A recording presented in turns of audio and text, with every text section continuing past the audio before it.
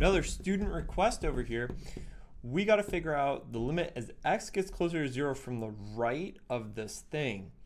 Now, if I were to plug in 0 from the right, then that basically means that I'm dealing with 0.1 and also 0.01. I'm just keep getting closer and closer to 0 but this would come out to 10, this would come out to 100. What's going to happen here as I keep plugging in numbers that closer and closer to zero is that this entire thing is going to get closer to infinity. So I kind of just have to figure out what's happening when I have tan inverse of infinity. Uh, but what that really means is that I have the limit as x goes towards infinity of tan inverse of x. So that means I'm going to be able to look at the graph of tan inverse x.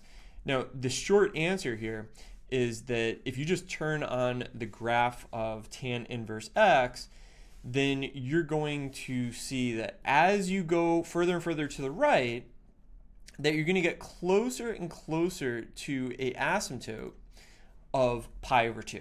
So that's the answer. The answer is pi over 2. If you can't remember that there's a horizontal asymptote of pi over 2 for tan inverse, well, maybe you can remember what's going on with the graph of tan.